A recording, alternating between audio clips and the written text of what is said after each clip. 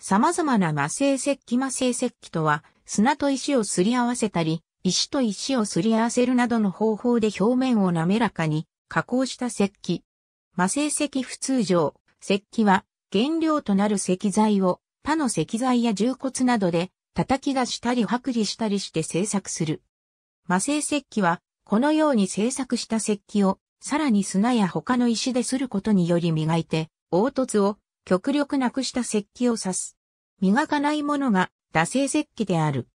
母材の石が緻密なほど表面は滑らかで鋭利となり、樹木伐採などに使用する場合でも何度も繰り返して使用できる。主な魔性石器には、石皿、すり石、石符、石水、石包丁、石棒、石鹸などがある。七日本では、旧石器時代に人部魔性石符が作られた。世界最古の例は、オーストラリアで6万5千年以上前に遡る。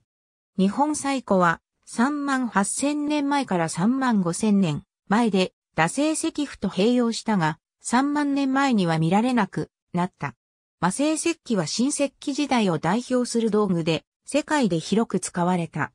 鉄器が普及しなかった一部地域では20世紀に入っても石符が普通に使われていた。研磨の技法には、殺節技法などがある。魔製石器の製作技術は、非常に高いもので現代のシリコンウェハーや工学部品の研磨技術の基礎となっている。ありがとうございます。